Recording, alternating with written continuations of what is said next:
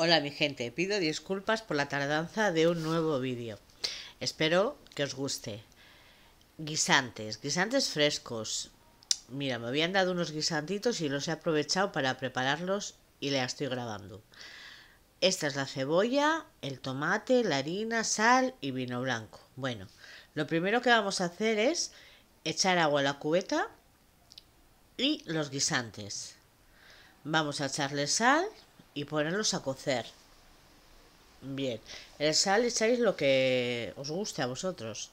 Yo como una cucharada de sal. Bien, ponemos la tapa. Así. Y cerramos válvula. Yo lo estoy haciendo aquí. Y programamos menú cocina. 8 minutos, que es lo que dispone para verduras. Bueno, como veis aquí también tengo jamón, que es lo que voy a poner al final por encima. Lo voy a meter al microondas tres minutos para que se quede tiesito.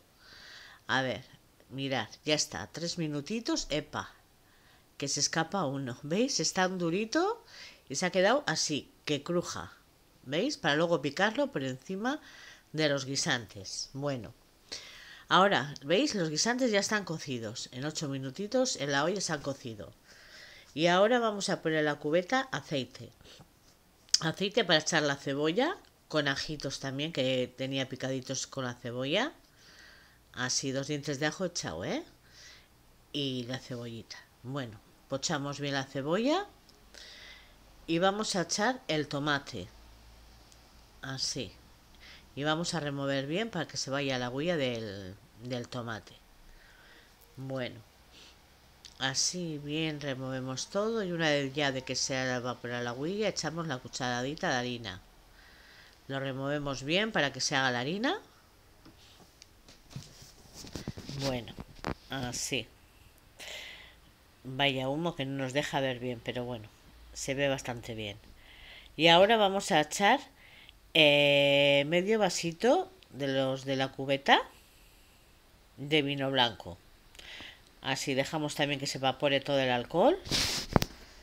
Y cuando hemos cocido los guisantes he reservado como un vaso de los de beber agua, del agua de los guisantes. Y lo vamos a echar ahora. ¿Veis? Así, mira, con unos guisantitos que me han quedado ahí. Así. Removemos bien. Y la salsita esta ya está. Ahora solo nos queda así, echar los guisantes remover y dejamos un ratito que se cuezan para que coja los guisantes el gustillo de la salsa. Está riquísimo. Así que si os gusta ya sabéis, ¿eh? Dais dedito arriba, os suscribís y me compartís. Os doy las gracias, ¿eh? Por ver mis vídeos y por seguirme. Espero que a partir de ahora subiros más. Que es que está un poquito vaguilla. Bueno, y ahora ya está. Vamos a emplatar. A ver. Mirad. ¿Veis? He echado el jamoncito por encima. Bueno, esto huele que alimenta. Os espero en el próximo vídeo. Gracias. Un besito.